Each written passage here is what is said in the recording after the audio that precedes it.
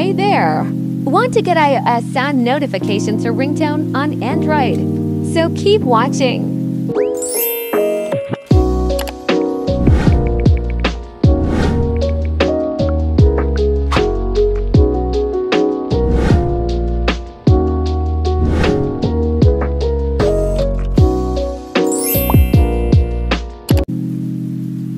Now let's check first my default notification sounds.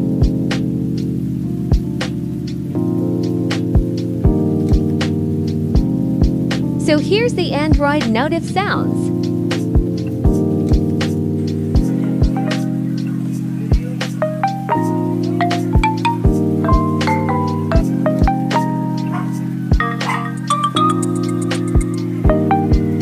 This time, we will try this change it to iOS. Now go to Play Store. Search for Zedge app.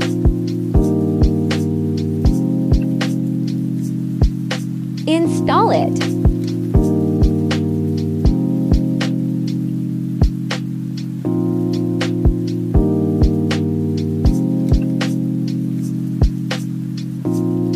Go to Ringtone section.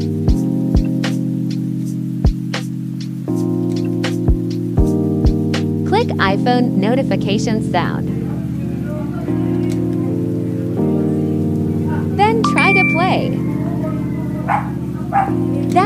First notification sound. Try to test the others.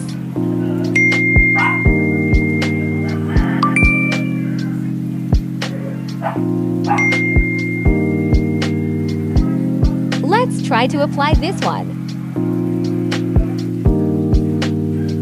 Successfully set ringtone.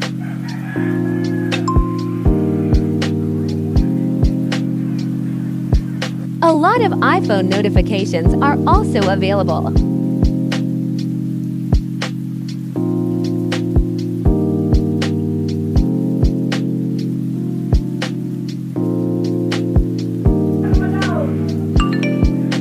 For this one, let's try to save sound.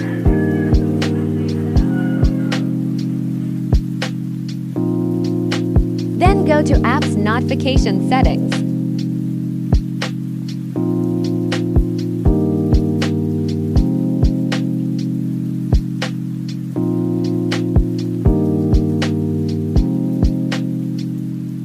Select from Files. Select the iPhone notification sound you saved earlier.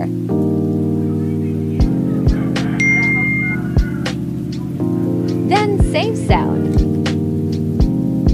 Now let's test it. So here's how it will sound like. And that's it.